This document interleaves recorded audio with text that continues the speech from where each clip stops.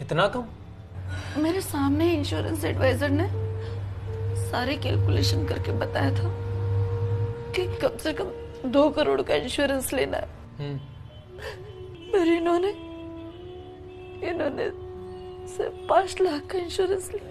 और जब मैंने इनसे पूछा कि इंश्योरेंस एडवाइजर ने तो दो करोड़ के इंश्योरेंस की ज़रूरत बताई थी फिर? तो आपने पाँच लाख का क्यों लिया? तो ये बोले उनका क्या है? वो तो अपना टारगेट पूरा करने के लिए कुछ भी बोलते हैं।